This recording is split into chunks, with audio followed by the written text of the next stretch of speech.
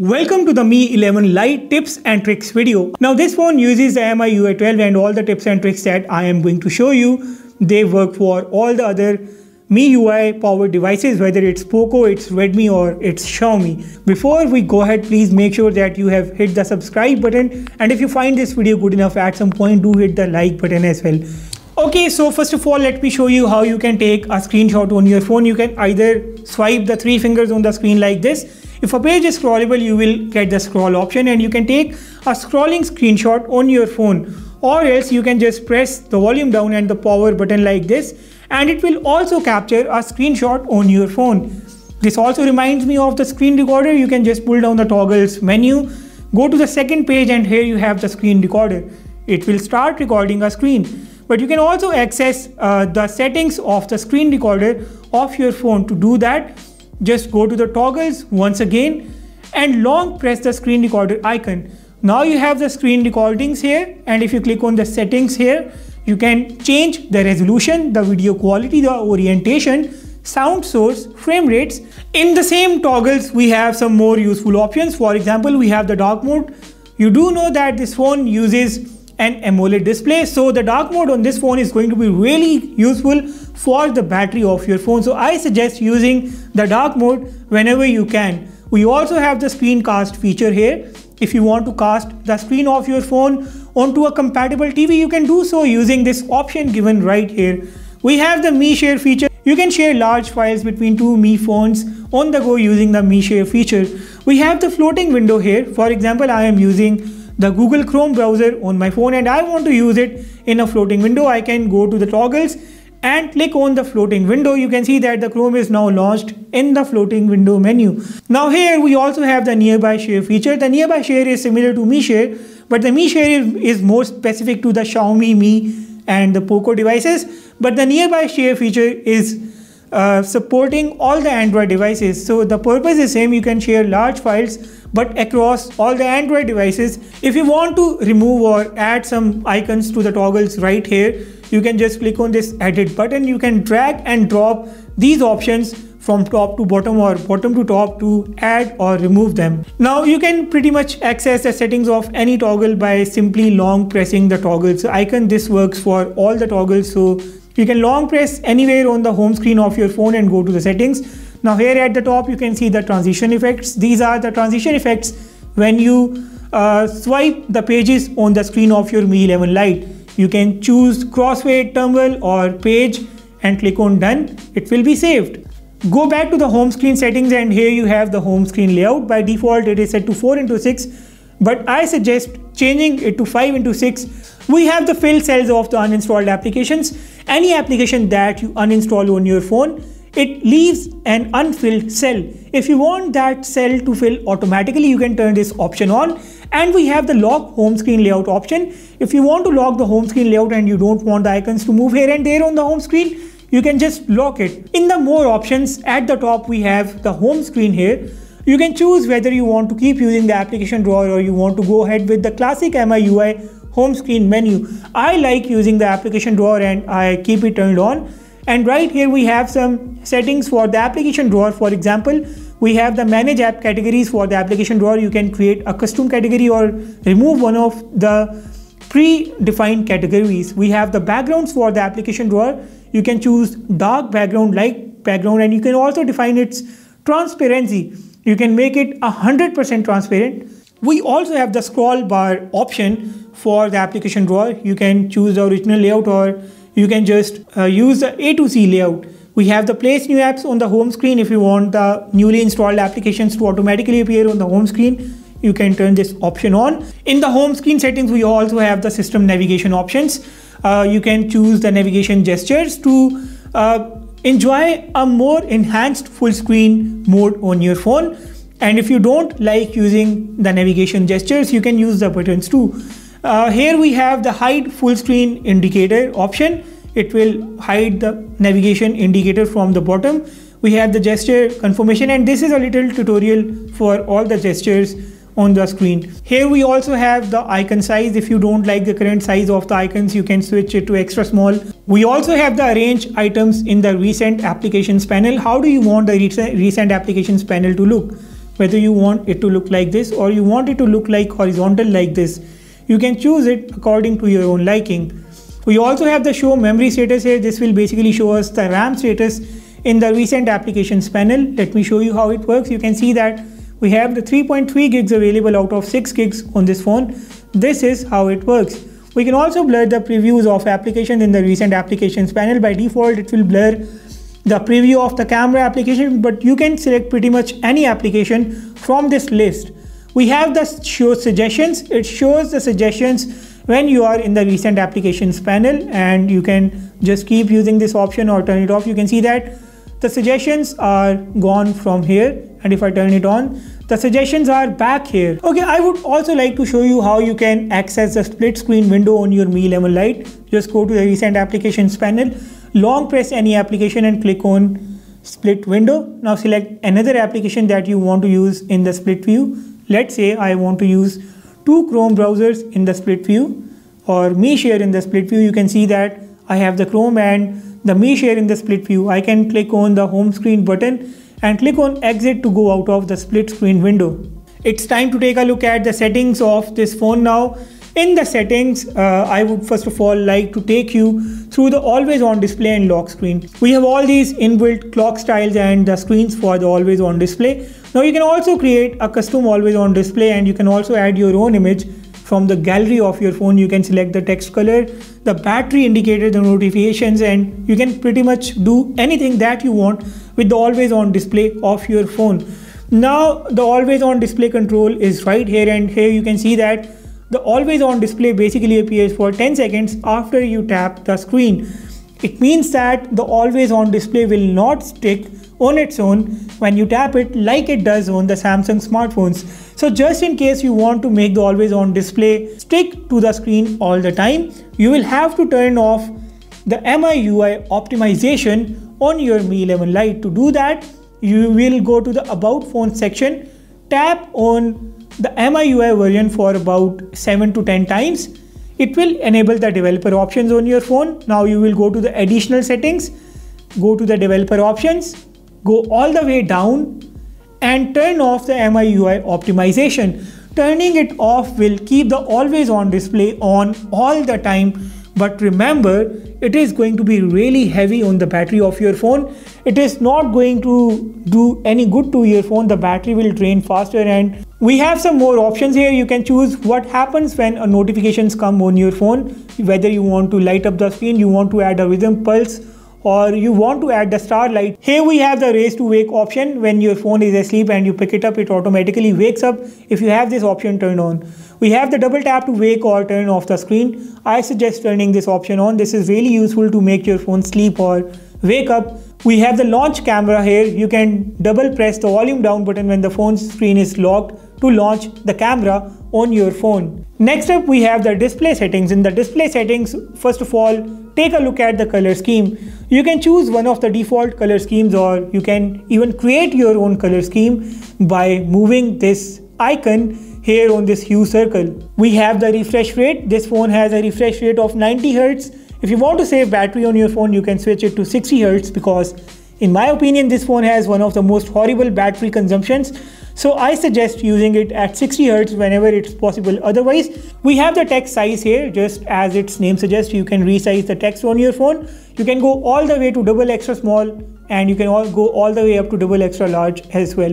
Here we have the full screen mode if you want an application to forcefully use the full screen mode you can turn this on for all such applications here and vice versa. Next up we have the sound and vibration if you want to turn off specific sounds on your phone you can do so. From here you can first of all change the haptic feedback behavior you can select the haptic level from right here and in the additional settings we have the dial pad, tap sound, screen locking sound, screenshot sound and the delete sound as well. If you want to change the sound effects on your phone, we have the presets here, smart music, video and voice. And when a headphone is connected, you will, you will be able to access all these options on your phone as well.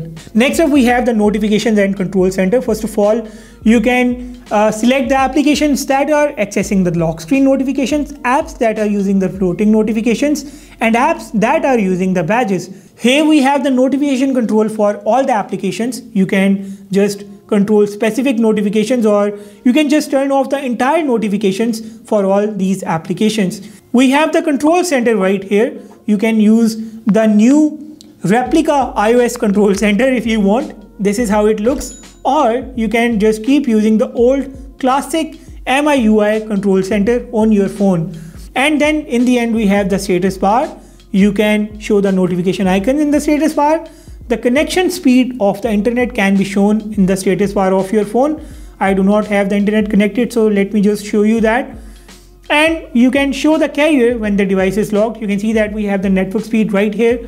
You can create a custom carrier name on your phone as well. The battery indicator, whether you want it to be inside the battery indicator or next to the battery indicator, you can hide the notch on your phone. If you don't like this punch hole popping up right here, you can just remove it and you can also hide the punch hole inside specific applications on your Mi 11 Lite. Now uh, next up we have the password and security on this phone. In the password and security I suggest turning on the face unlock along with the fingerprint scanner. So just in case your hands are busy you can unlock the phone using the face unlock.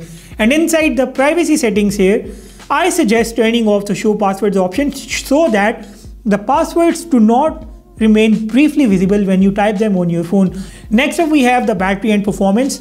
In the battery and performance, I suggest scheduling the power on and off on uh, a specific time at least once in a week. This is going to be useful to keep you, the things running smooth on your Mi 11 Lite. You can also turn on the ultra battery saver whenever your phone is running out of the battery and you want the phone to last longer. We have the apps here in the apps. I want to show you the dual applications the dual applications feature will basically let you use two instances of one same application. For example, you have two SIM cards in your phone and you want to use two WhatsApp accounts. You can add a dual instance of WhatsApp when you have WhatsApp installed on your phone. WhatsApp will appear right here under the recommended applications and you can create a dual instance of pretty much any application on your phone. Right here we have the native application lock of the Mi 11 Lite. If you don't want to use those third-party app locks Make sure you use the inbuilt app lock and you can also sync it with your fingerprint scanner or your face ID unlock. Next up right here we have the additional settings of the phone. In the additional settings first of all you can define the button shortcuts for certain tasks on your phone to launch the camera taking a screenshot, turn off the screen, torch, close current app and all these options are right here. We have the quick ball here. The quick ball appears on the screen like a joystick and you can access all these features using the quick ball and the good thing is that you can also change all these shortcuts. You can actually define the entire behavior of the quick ball we have the one-handed mode here. You can define the size of the one-handed mode and you can turn it on or off from here. Next up we have the special features of this phone. First of all we have the game turbo. The game turbo will basically give you a full control over your games. It also shows you an fps meter on your phone so you can launch any game on your phone and when you have launched a game, the game turbo will appear on the screen. Let me show you. Here it is. So it basically gives you the screen recorder, screenshot. It gives you the social media sharing options and it gives you this boost option. It will basically clear the cache of your phone and it will make the games run smoother. It also shows you the frame rate for all the compatible games. For example, for the games like PUBG Mobile and the COD Mobile. In the special features, we also have the video toolbox. This video toolbox will basically give you a screen recorder. It will give you a filter for the videos and also give you the option to capture a screenshot while you are playing a video on your phone. We have the second space feature here. The second space will basically give you another instance of your own phone inside your phone. So just in case you don't want to use the same uh, main menu of your phone for all the tasks and you want to create a second instance inside your phone with its own Play Store, its own browser, its own file manager, you can turn on the second space and it will stay protected with the help of your fingerprint scanner or any other password access that you will set up. We have the light mode here. The light mode will basically enlarge the icons, the text and it will also reduce the visual clutter on your screen. So in case you are a fan of that neat and bigger look for the icons, you can turn on the light mode on your Mi 11 Lite. I would also like to show you the tips and tricks for the camera application when you launch the camera application. By default, it will capture the images in 16 megapixels mode. This phone has a 64 megapixels camera, but that works with the pixel binning mechanism which is why it has this 64 megapixels capture mode under the more options. Now in this screen if you click on this icon here you will go to the ultra wide camera of your phone and here we have the flash which is turned off and it should always remain turned off. We have the HDR, I suggest keeping it to auto. We have the AI, AI will add a color boost to your images so keep it turned on. We have the filters here, the beautify mode and the filters and both these modes work for the front camera as well. We have the Google Lens here if you want to find something by taking its picture or using the camera of your phone. Here in these options, first of all, we have the frame. 9 is to 16 is useful for Insta stories. The full screen mode can be used for Instagram stories too, but if you want to take images in proper resolution, use the 3 to 4 mode. We have the timer here for up to 10 seconds. We have the movie frame to add those black bars in your images or videos. We have the grid lines to keep the frame balanced on your Mi 11 Lite and the macro mode to take macro images. The tilt shift to just focus on a specific area inside an image and the timed burst to capture a specific number of images under a specific time interval. Right here we have the video mode of the phone. In the video mode, we have the super steady mode first of all to add immense stability to your videos. And here we have the filters and the beautify mode for the videos once again. And if I click on these options, you can see that we have uh, these specific resolutions right here. Okay let me just turn the grid lines off. And we have 4k at 30 frames per second 1080p at 60 frames per second. And we have the movie frame for the videos too the grid lines. The macro videos can be recorded on this phone. And we can also track a moving object on the Mi 11 Lite. Now towards the extreme left we have the pro mode of the phone. First of all you can see the metering option here we can see the 64 megapixels option and we also have these filters right here. If I click on this option right here, we have the timer, we have the frame. The raw option should be always turned on because it's going to let you capture those raw images for good post processing. We have the show grid lines, focus peaking, the exposure verification and the timed burst once again. Now this phone also has the pro video mode. You can just tap on this icon to switch between the pro video and the pro photo mode right here. Right here we have the white balance, the fo focus, the shutter speed, ISO exposure verification and the lens option. If I go into the more options, first of all I would like to show you how you can modify these more options. You can click on this icon right here and you can see that we have a new look for all these more options. And if I go into the settings of these more options, first of all you can choose the feature layout whether you want uh, to remove some of the icons from the camera tray or you want to add these icons to the camera tray of your phone you can just drag and drop the icons and they will start appearing in the camera tray of your phone. Let me show you.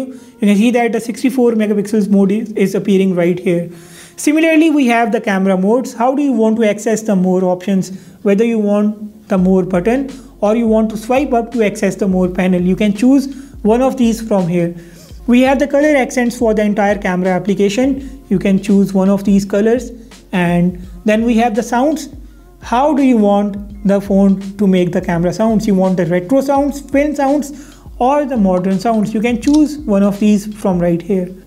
okay, so here we have the night mode. The night mode this time works for the front camera as well, which is a really nice addition. We have the short video mode to capture a video of up to 15 seconds, the panorama mode the inbuilt document scanner, the vlog mode will basically uh, let you join small clips and it will let you create a vlog on the go. You don't have to go through the hassle of those huge complex editing softwares, which also works for the front camera of the phone. It is another nice addition here. We have the time lapse, the dual video to use the front and the rear camera of the phone at the same time. We have the clone mode if you want to clone yourself in an image or inside a video, you can do so using the clone option. We have the movie effects, you can just create a magic zoom and we also have the long exposure shots. You have all these options right here under the more settings. Let me quickly take you through the settings of the Mi 11 Lite's camera application too. Uh, in the settings at the top you can see the watermark option. You can add a custom watermark or use the device watermark. You can see that you can create a custom watermark like this. And that is all with the Mi 11 Lite tips and tricks. I hope you guys really liked this video. If you liked this video, please hit the like button and if you loved it, please hit the subscribe button. Also, if you think that I have missed an important tip here that you guys have an idea of, make sure to drop it in the comments below to help everyone else. With that being said, I will sign off and see you all in the next one.